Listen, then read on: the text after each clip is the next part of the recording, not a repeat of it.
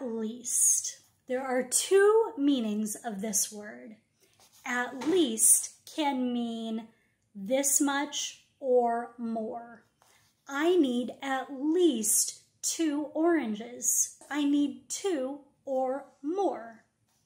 I need at least two people to help me. I need two or more people to help me.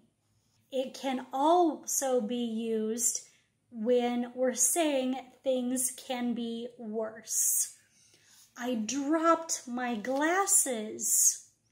At least they didn't break. That means it could be worse. Be happy they didn't break. I fell down. At least you didn't hurt your face. Now you try. Make a sentence using at least.